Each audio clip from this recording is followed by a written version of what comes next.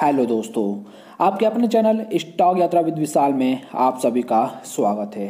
दोस्तों, इस वीडियो में हम डिस्कस करने वाले हैं टारसन प्रोडक्ट। इस कंपनी के ऊपर यहाँ पे हम लोग बातें करने वाले हैं, ठीक है? सो दोस्तों, यहाँ पे आगे बढ़ने से पहले यहाँ पे हम लोग आज के मार्केट के ऊपर चलेंगे मतलब निफ्टी के यहाँ पे परफॉर्मेंस के ऊपर यहाँ पे हम लोग चलने वाले हैं।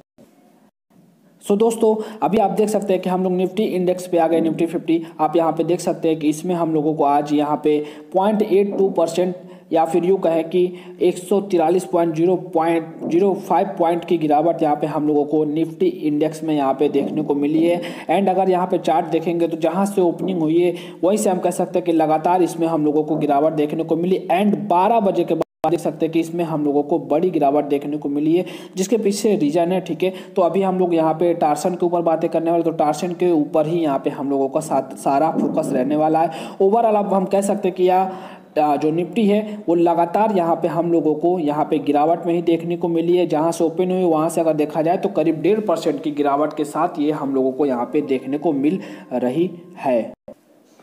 लेकिन दोस्तों यहाँ पे हम लोग अगर टार्सन प्रोडक्ट को देखें तो आप देखिए इस कंपनी में हम लोगों को पॉइंट फोर फोर परसेंट की यहाँ पे हरे निशान में ही ये हम लोगों को देखने को मिल रही है। एंड उससे भी अच्छी बात यहाँ पे आप इनके चार्ट में देख सकते हैं। दोस्तों यहाँ पे देखा जाए तो इसकी भी ओपनिंग एक अच्छी खासी यहाँ पे आ, मतलब ओपनिंग अच्छी खासी यहाँ पे देखने को मिली है जो कि आप यहाँ पे देख सकते हैं जो कि उसके बाद आप देखिए एक बड़ी रैली भी देखने को मिली है।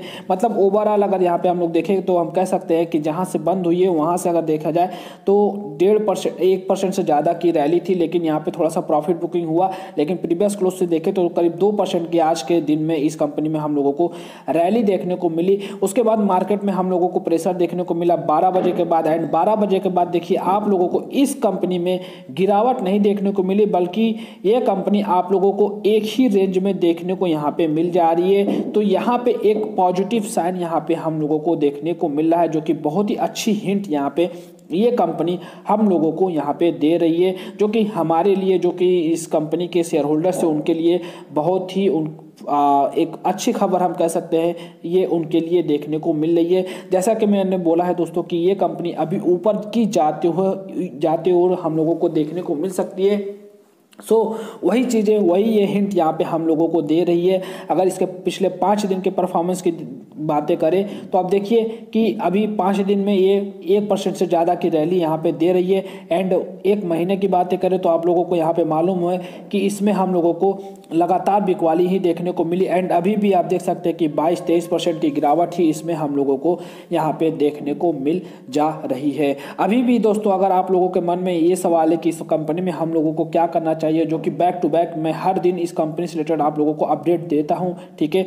तो यहाँ पे मैं फिर से आप लोगों को यही बोलूँगा कि कंपनी को यहाँ पे आप लोगों को होल्ड करके चलना चाहिए।